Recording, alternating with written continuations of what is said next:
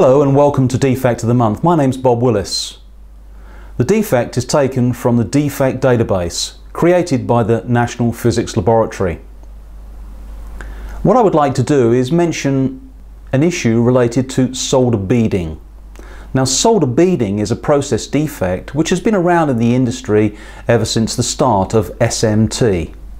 And solder beads are basically solder balls which are adjacent to some components on the printed circuit board, most commonly chip components. However, they can also be seen around packages which are closely spaced or have minimum standoff on the surface of the board. Basically, what has happened is solder paste material has slumped underneath the package or literally been drawn underneath the package by capillary action.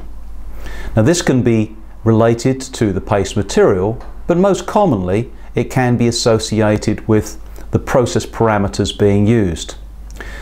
If you look at the solution to this particular problem, it's modifying a stencil.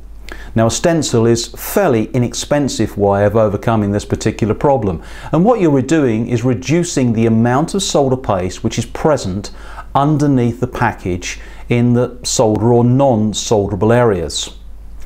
However, if you take your stencil data directly from the design data and the design footprint is incorrect to start off with, this is really a design issue.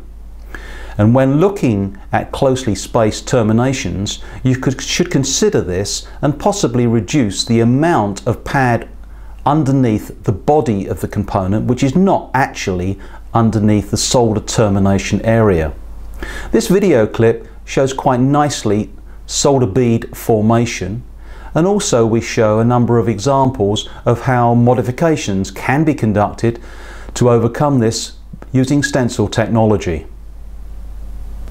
Another opportunity to solve your soldering process problems has been brought to you by IPC. This is the NPL Defect Database Live, a feature that has been organised at APEX this year.